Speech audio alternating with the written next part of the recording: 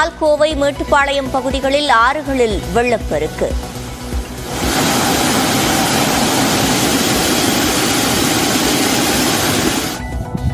கோவை குற்றாலம் தற்காலிகமாக மூடப்படுவதாக வனத்துறை அறிவிப்பு.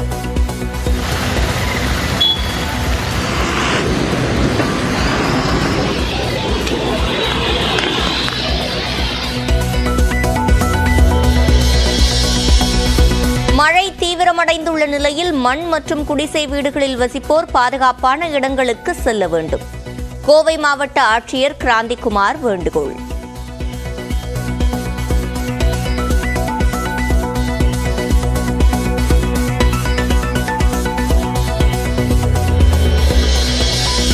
நீலகிரி மாவட்டம் கீழ்கோத்தகிரியில் கனமழையால் மண் சரிவு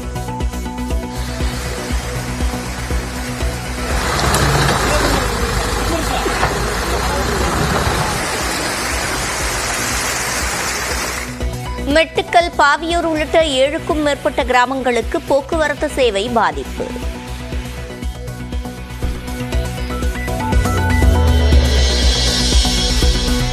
மழை காரணமாக குன்னூர் கோத்தகிரி தாலுகாக்களில் இன்று பள்ளிகளுக்கு விடுமுறை.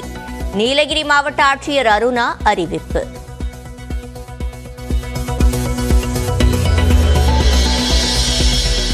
திருவள்ளூர் ராணிப்பேட்டை காஞ்சிபுரம் மாவட்டங்களில் இன்று கனமழைக்கு வாய்ப்பு.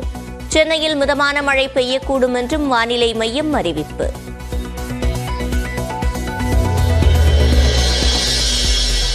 மசோதாக்களை நிறுத்தி வைக்க முடிவு செய்தால் அதனை சட்டப்பேரவைக்கு ஆளுநர் அனுப்பி வைக்க வேண்டும். தன்னிச்சையாக செயல்பட முடியாது என்றும் பஞ்சாப் ஆளுநருக்கு எதிரான வழக்கில் உச்சநீதிமன்றம் திட்டவட்டம்.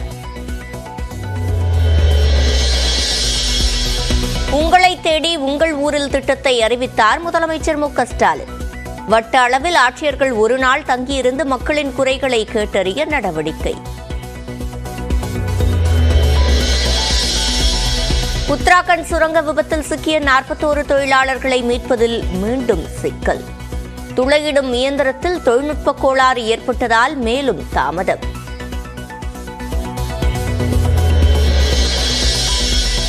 நடிகர் பிரகாஷ் ராஜுக்கு அமலாக்கத்துறை சம்மன். நூறு கோடி ரூபாய் மோசடி செய்த பிரணவ் ஜுவல்லரி விளம்பரத்தில் நடித்த நிலையில் விசாரணைக்கு ஆஜராக உத்தரவு.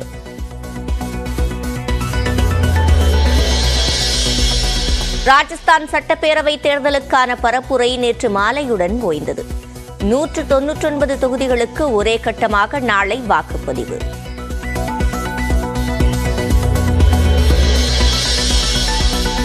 தெலங்கானா சட்டப்பேரவை தேர்தலையொட்டி வாகன தணிக்கை தீவிரம்.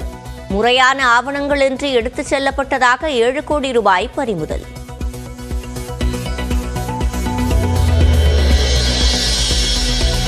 பிரதமரை அபசகுனம் பிடித்தவர் என பேசியதாக புகார்.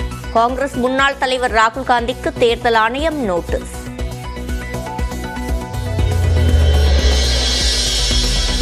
தமிழகத்தில் அடுக்குமாடி குடியிருப்புகளை பதிவு செய்வதற்கான புதிய நடைமுறை டிசம்பர் ஒன்றாம் தேதி முதல் அமல்.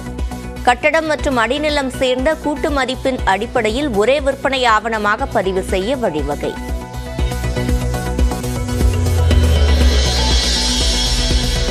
சனாதனத்திற்கு எதிராக அமைச்சர்கள் உதயநிதி சேகர்பாபு எம்பி ஆர். ராசா பேசியதாக தொடரப்பட்ட வழக்கு. தேதி குறிப்பிடாமல் தீர்ப்பை ஒத்திவைத்தது சென்னை உயர்நீதிமன்றம். திருவண்ணாமலை கோவிலில் கார்த்திகை தீப திருவிழாவையொட்டி அண்ணாமலையார் தேரோட்டம் கோலாகலம். லட்சக்கணக்கானோர் பங்கேற்பு.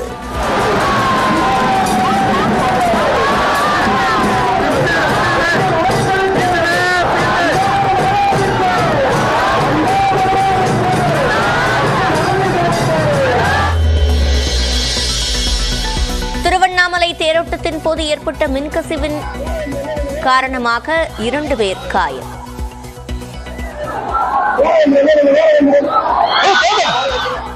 தேரோட்ட பாதையில் அரசு முன்னெச்சரிக்கை நடவடிக்கை எடுக்கவில்லை என எடப்பாடி பழனிசாமி குற்றச்சாட்டு.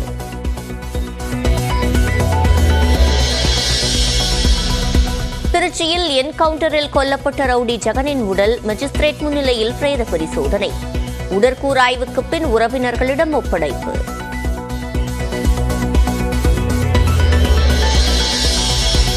நடிகை த்ரிஷா குறித்து ஜாலியாக பேட்டி கொடுத்ததாக காவல் நிலையத்தில் நடிகர் மன்சூர் அலி கான் வாக்குமூலம்.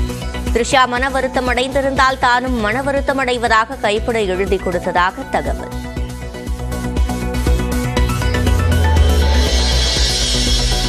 அமைச்சர் உதயநிதி ஸ்டாலின் குறித்து அவதூறாக விமர்சித்து வாட்ஸ்அப்பில் ஆடியோ வெளியீடு. தூத்துக்குடியைச் சேர்ந்த பாஜக முன்னாள் நிர்வாகி கைது.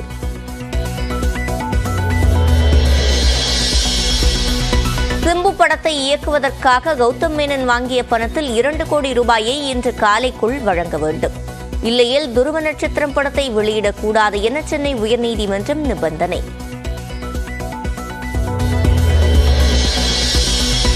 சென்னையில் ஜிம்மில் உடற்பயிற்சி செய்து கொண்டிருந்த போது திடீரென மயங்கி விழுந்த இளம் பெண் மருத்துவர்.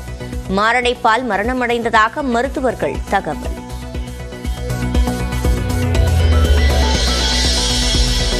வேலூர் மாநகராட்சியில் அடிப்படை வசதிகள் செய்யவில்லை என புகார். திமுக மண்டல குழு தலைவரை ராஜினாமா செய்வதாக பேசியதால் பரபரப்பு.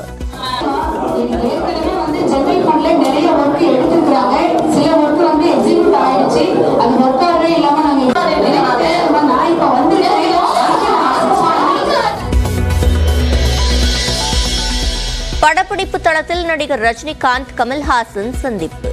நீண்ட நாட்களுக்கு பிறகு சந்தித்துக் கொண்டதால் உற்சாகம்.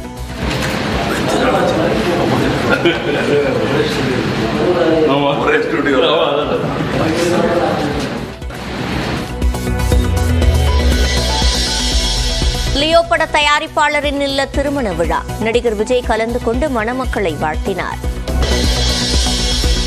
சீனாவில் குழந்தைகளை அச்சுறுத்தும் நிமோனியா பரவல். புதிய கிருமியால் காய்ச்சல் இல்லை என சீனா விளக்கம்.